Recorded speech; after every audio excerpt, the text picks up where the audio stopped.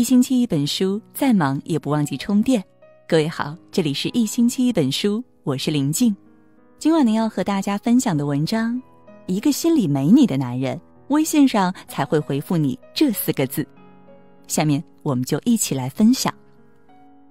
总听人说，感情就像谜，你永远猜不透对方情有几何，意有几许。你以为他喜欢你，却找不到强有力的证明。要说他不喜欢你吧，却总能感受到对方的撩拨。其实啊，想要知晓对方心意，也并非无章可循。看看你们的微信聊天就知道了。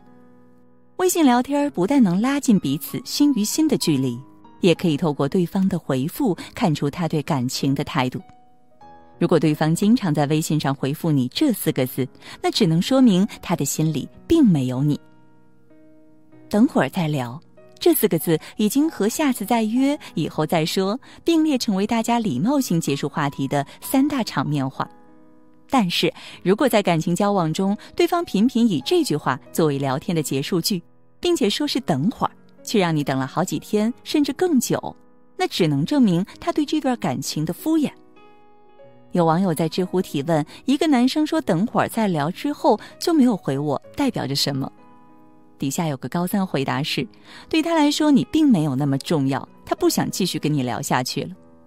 虽然扎心，却也是事实。一个心里没你的人，哪有心思管你在收到“等会儿再聊”后内心等待的焦灼？也难怪有网友现身说法，愤愤控诉男友的满不在乎。我男朋友也是这个德行，我快爆发了，这就是明显的不把你当回事儿。最近几天已经跟我说了无数个等会儿再聊，然后就没消息了，对我分享的东西也不回复，我看快凉凉了。你回他消息是秒回，你等他消息啊是轮回。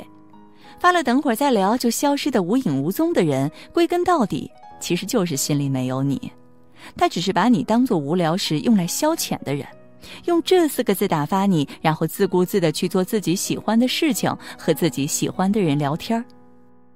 张小娴在《谢谢你离开我》中说过：“亲爱的姑娘，无论你有多么好，总会有人不愿意领你的情，总会有人辜负你。遇到这样的人，你也不要苦苦等待，只为当对方的姐们备胎了。你永远无法让一个心思压根不在你身上的人爱上你，纠缠太多只会让自己越陷越深，无法挣脱。没有时间。”有位粉丝曾向童话大王郑渊洁提问：“喜欢一个人是什么感觉呢？”郑渊洁的回答是：“你的时间越来越多由对方支配。”细细想来，确实如此啊！一个把你放在心上的人，心里眼里都是你，会把所有的时间都留给你。前段时间，表妹经人介绍认识了一个男孩，起初两个人聊得很愉快，见面相处的氛围也很融洽。那段时间，表妹经常对我说着这个男生多么的幽默风趣，总是能在快要冷场时及时开启新的话题。两个人恨不得二十四小时都聊天儿。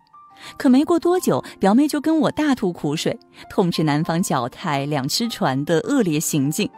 原来两个人虽然聊得开心，但每次表妹开心的计划和他进行下一次约会时，都会被男方以没有时间搪塞过去。要不要一起吃个晚饭？今天没有时间，下次吧。双休要不要去周边农家乐放松一下？最近项目很多，没有时间，以后有机会再说吧。刚开始，表妹还以为对方是真的忙，可搜索了聊天的关键词，发现最多的就是没有时间。后来才得知啊，对方在相亲之前就有一个谈了两三年的前女友，因为家里人催着相亲结婚，就和表妹聊上了。而男方在和表妹聊天的时候，和他的前女友一直藕断丝连。一个心里没有你的男人，根本不愿意花费一点时间在你身上，即使微信上聊的你侬我侬，也不过是无聊时的敷衍。所以，要看清一个男人，不要总是依赖于微信上不切实际的聊天还要看看他愿不愿意在你身上花费时间精力，陪你立黄昏，问你粥可温。一个愿意和你共同消磨漫长光阴的人，才是真正的把你放在了心上。无不无聊。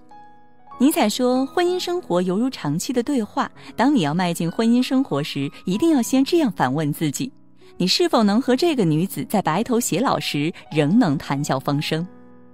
两个人相处的幸福感是需要靠彼此尽兴分享生活中的无聊小事成全的。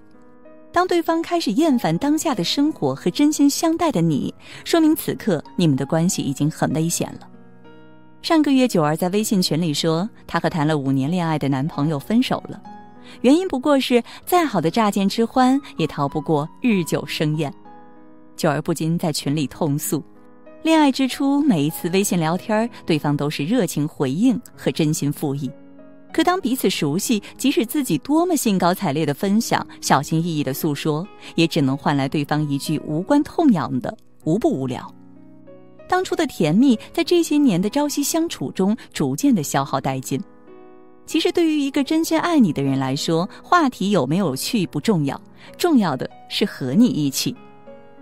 杨绛的《隐身衣》中描写了一段和钱钟书的聊天趣事：“给你一件仙家法宝，想要什么？”我们都要隐身衣，各披一件，同处遨游。我们只求摆脱拘束，到处阅历，并不想为非作歹。可是玩得高兴，不免放肆淘气，于是惊动了人，隐身不住，得赶紧逃跑。哎呀，还得有缩地法，还有护身法。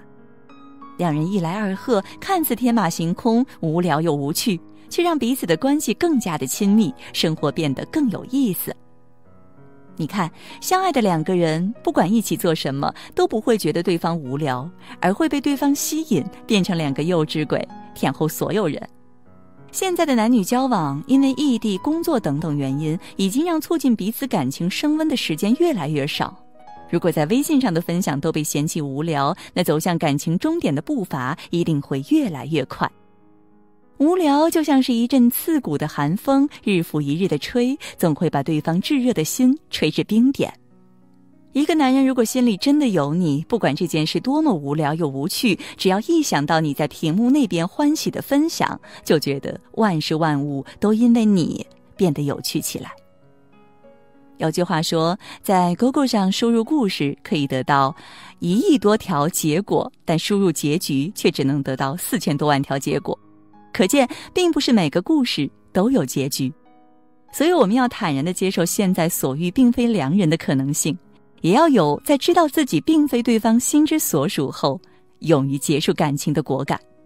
要明白，把你拽入感情不幸福深渊最重要的因素，是那个在这段错误感情里犹豫将就的你自己。